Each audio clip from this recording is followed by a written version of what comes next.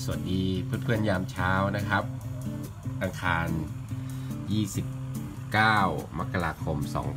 2562 ครับ อยู่ที่อนันตาหรือว่าฮิลรีสอร์ทอำเภอศรีสวัสดิ์จังหวัดกาญจนบุรีนะครับ อยู่กลางเขื่อนศรีนครินเลยครับนี่ครับผมอยากให้เห็นเพื่อนๆเห็นความงดงาม แล้วก็บรรยากาศยามเช้าของที่นี่นะครับากาศประมาณ 18 องศาครับ เย็นนะฮะ เย็นจนกระทั่งอ่าผมคิดว่าเหมือนกับอากาศเหมือนทางภาคเหนือของเราครับ ซึ่งไม่อยู่ไม่ห่างอยู่ไม่ห่างไกลจากกรุงเทพเลยนี่ครับดูบรรยากาศเช้าหมอกลงครับ หมอกลงแล้วก็บรรยากาศสวยงามมาก ซึ่งก็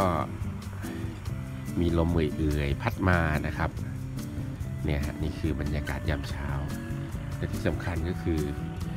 เรานอนอยู่บนแผ่นดินหรือว่าภูเขาเก่านะครับ ที่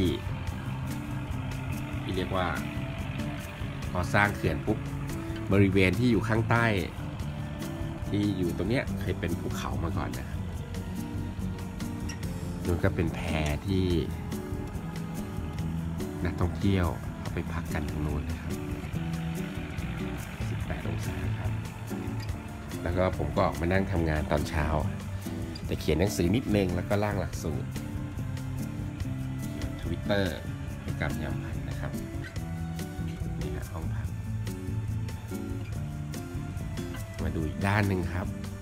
ด้านที่เป็นภูเขานะฮะแล้วก็ตรงนั้นก็มีสวนน้ำนู่นฮะ ที่นี่เหมือนกับเป็นอาณาจักรเลยนะครับโอ้โหสุดยอดมาก พี่แมว ที่เชิญผมมาสอนสื่อที่นี่ เก่งมาก ๆ ครับ ดูดูดูดู อย่าให้ดูควัน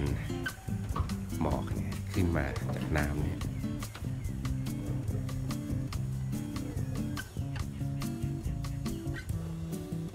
อากาศดีมาก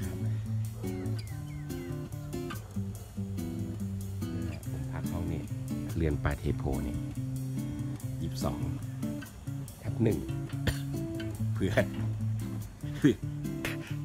เผื่อใครอยากจะตามรอยมาเที่ยวแบบเป็กผลิตโชคฮะ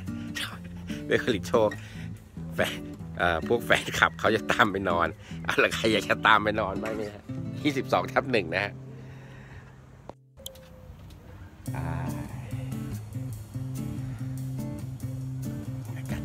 จริงๆฮะดีจริงๆโอ้โหประเทศไทยนี่สวยงามมาก นี่บรรยากาศ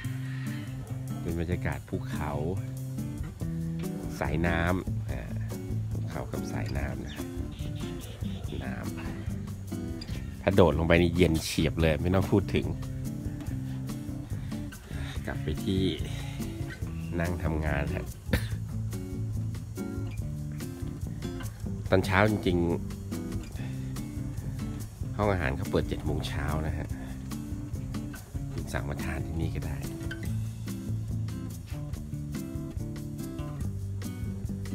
18 องศา สูดอากาศยามเช้า สบายๆครับนี่คือการท่องเที่ยวที่ใกล้ชิดกับธรรมชาตินะครับ เงียบสงบ ผมเริ่มเข้าใจว่า ทำไมต้องไปเที่ยวกันทำไมต้องออกมาทำไมต้องอยู่ใกล้ชิดกับธรรมชาติถ้าเพื่อนๆมีโอกาสนะครับ ก็ชวนมาเที่ยวกาญจนบุรีนะครับ สวัสดีครับ